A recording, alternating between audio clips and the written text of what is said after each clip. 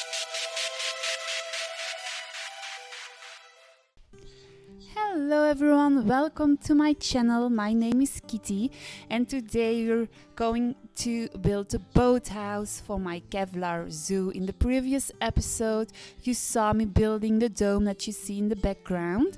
It's a big monkey dome and I'm going to call that the monkey island. And now we're going to make the boathouse where the people can take the boat around the island and watch the uh, monkeys from the water side.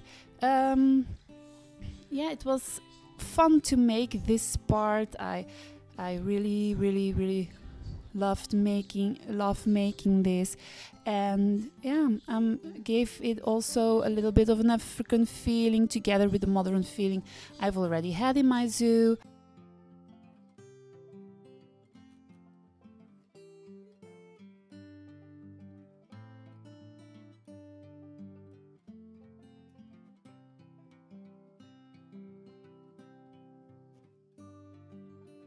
I've put this boathouse also on the Steam Workshop, so if you're interested, you can download it there for your own boat station.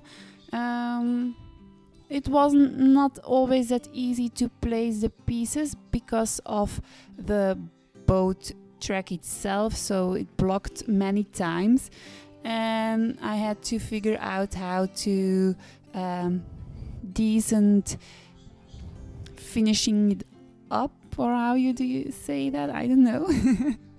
I'm sorry for my english i'm not so good at it.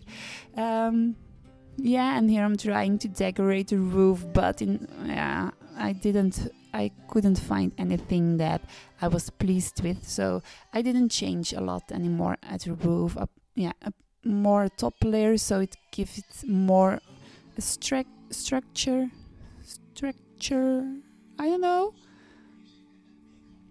um, I'm going to build an entrance and an exit as well with a lot of beams. And I've also made a sign um, for my boat track um, you will see that more at the end of the video. If you want then I'll put a blueprint of that uh, sign as, as, as, as a single file on my Steam workshop if you want to, but it's already included in this boat house on the Steam workshop.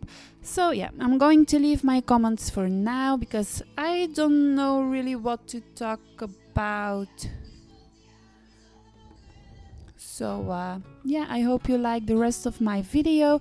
In the next video we will more um, focusing on the exhibits on the island for the monkeys. So yeah, I hope to see you all in my next video. Enjoy the enjoy Christmas, enjoy your friends, and I hope to see you all in my next video. Bye!